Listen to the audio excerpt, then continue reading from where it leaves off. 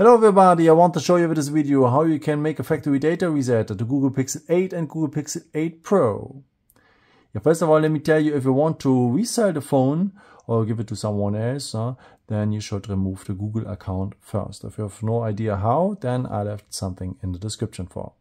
Okay, now let's uh, make a factory data reset here at the phone, a hard reset, and uh, for that we need to turn off the phone, and if the phone completely turned off, use the power button and the volume down button. Long press these both buttons and you are at a fast boot mode. Okay, you cannot touch the screen. You cannot use the touch screen.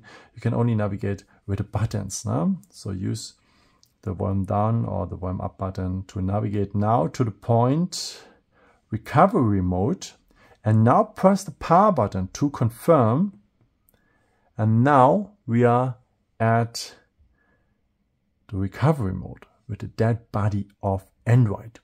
Now take a few seconds, maybe something like 20 seconds, and then you need to press the power button and the volume up button together.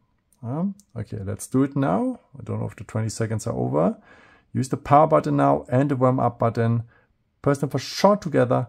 Uh, it's not over yet. Um, so the power button and the volume up button short together. Don't become nervous. And at the moment you should have, yeah, this point here, the Android recovery mode. Don't, don't become nervous. Yeah. Um, it will come. Uh, now we have the options, reboot system, reboot to upload, uh, bootloader and so on. And even here we cannot use the touchscreen. Now we can still navigate here with the volume keys. Okay.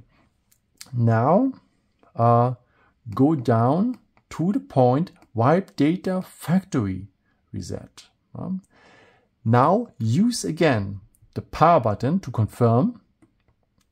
And phone is, answer, is answering now, um, if you really want to erase your data, it cannot uh, be undone.